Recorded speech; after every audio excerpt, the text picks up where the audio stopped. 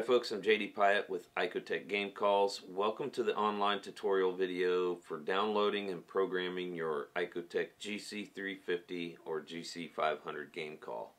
And this process covers both the first generation and the Gen 2 models GC350 and GC500. So let's go ahead and get started.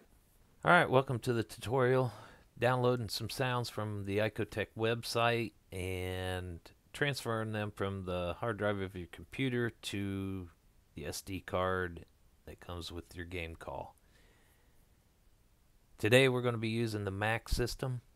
First thing I'm going to want to do is I'm going to go ahead and create a folder for the sound that we're going to download from the ICOtec website and place it into for storage. I'm going to name that folder ICOtec Sounds.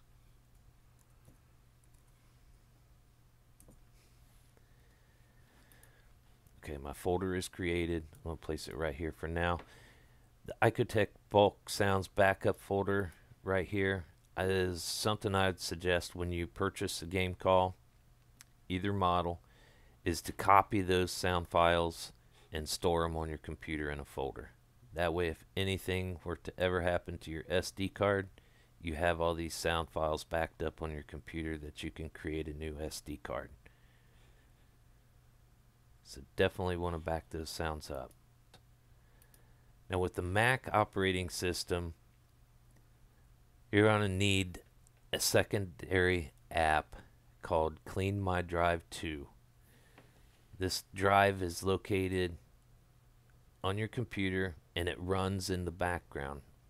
There's nothing you have to do with it other than when you first download this app, need to allow access to your internal and external drives that are connected to the computer. And what this Clean My Drive 2 does is that Mac operating systems will attach a ghost file to the file that you're transferring from the hard drive of the computer to the SD drive of the SD card. That ghost file corrupts the SD card, causes the software in the caller to not perform properly. So, this Clean My Drive 2 is a must have if you're going to be using a Mac system.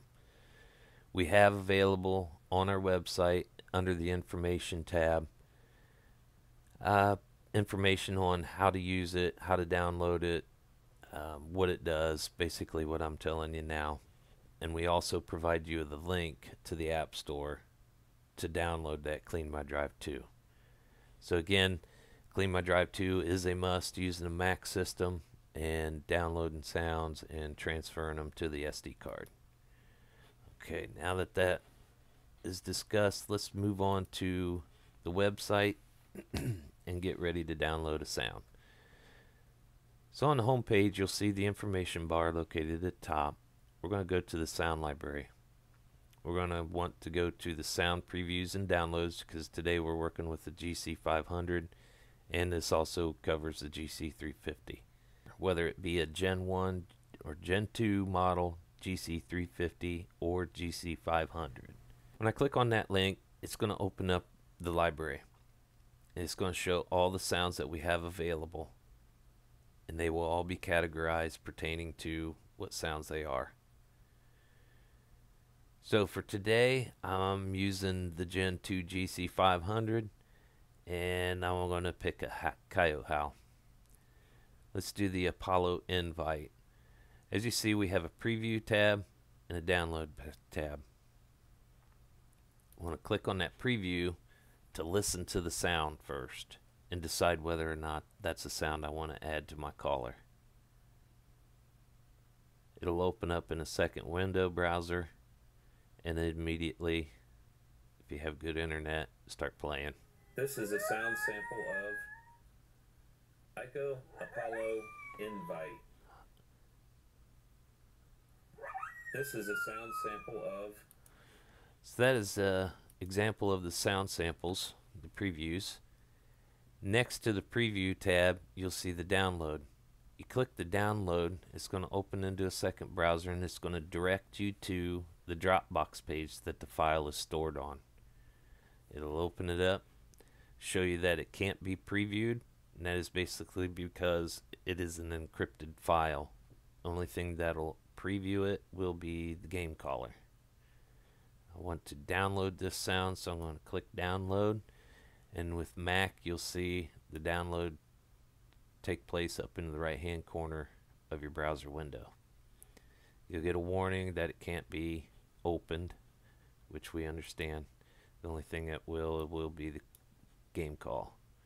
So I'm going to click that recent downloads tab and you'll see our sound is located right here. IcoApolloInvite.ico. I'm going to click down, hold on it, drag it over, and I'm going to drop it right into my ICOtec Sounds folder that we created. Clear my download, minimize my page. Now today I'm working with the Gen 2 GC500. That collar comes with 200 sounds already on it. Card's full. So in order for me to add a new sound to it, I'm going to have to take a sound off of it. So I'm going to go ahead and plug in my caller. And there's two ways that you can plug in your game call. You can either use a supplied USB cable and plug into the port on the back of the collar and USB port onto the computer, or you can remove the SD card and plug it directly into your computer. So let's connect this SD card. The card is now connected. And you'll see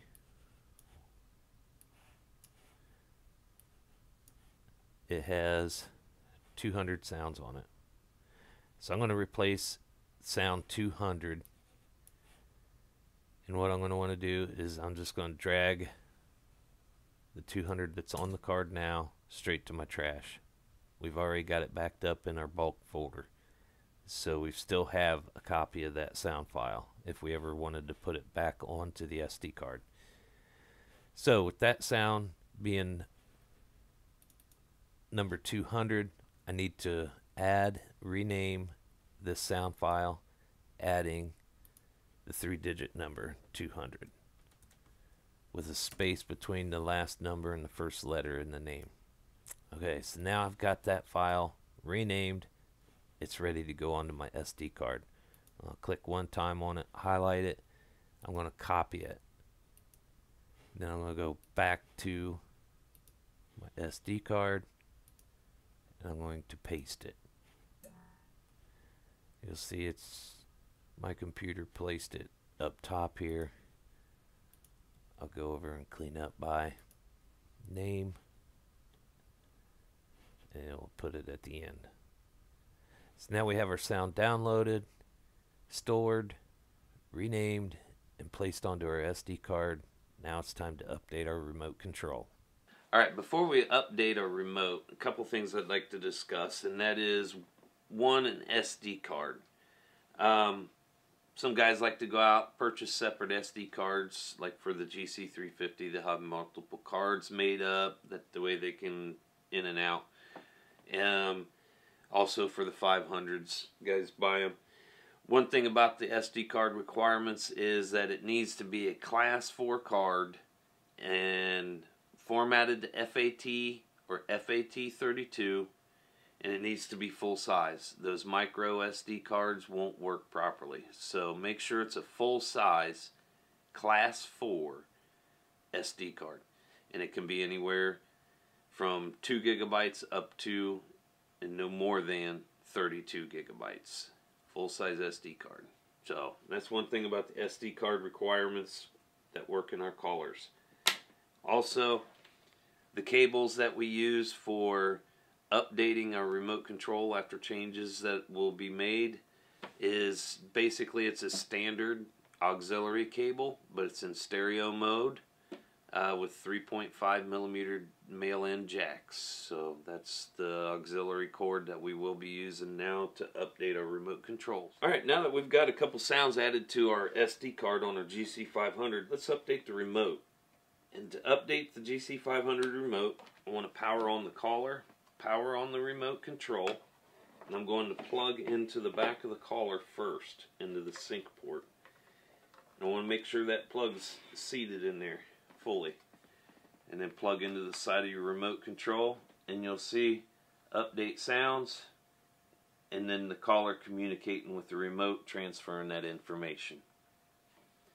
So once that information is fully transferred, it's going to flash OK.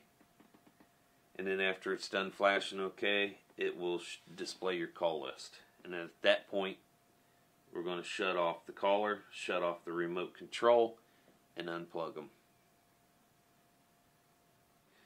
Now we've got the OK flash. Our sounds will be displayed here shortly. At that point, I'm going to turn them both off and unplug them. Then we'll turn the call back on and test our last sound. Apollo invite. Awesome. If you have any further questions, uh, contact us through our website at service at icotec.com. Hopefully, everybody's successful using this process and uh, gets to spend a lot more time out there hunting. So, thanks for watching. Have a great day. ICOtec. Dead serious game calls and decoys.